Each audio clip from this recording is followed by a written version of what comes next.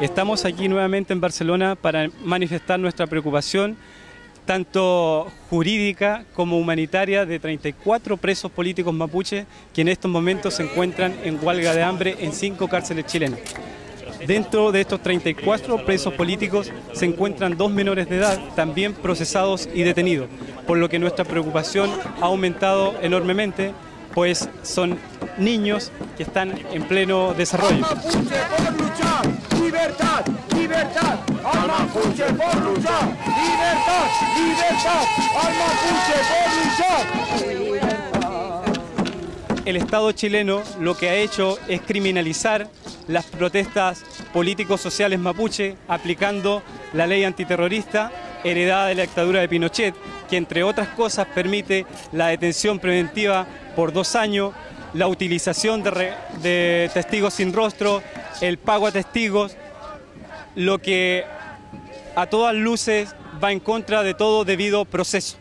Además, la mayoría de estos presos políticos mapuche está siendo juzgado por la justicia militar, pues en Chile es el único país donde se permite que un civil pueda ser juzgado por la justicia militar. Y lo peor es que estas penas, en definitiva, al final se suman estas dos condenas. Liberar, al mapuche por luchar. Liberar, liberar, por.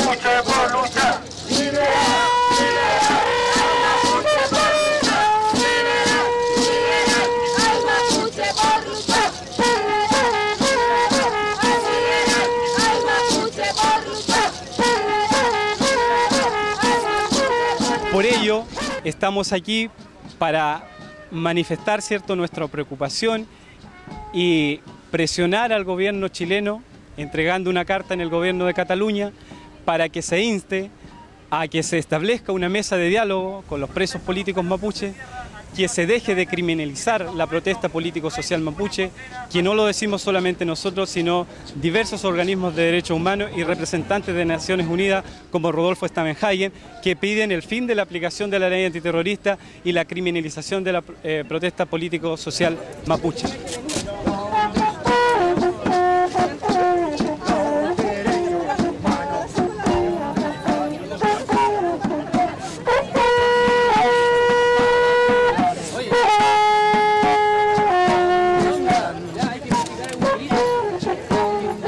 Queremos instar al gobierno de Cataluña a que inste al gobierno chileno a derogar estas leyes y que queden acorde a los estándares internacionales.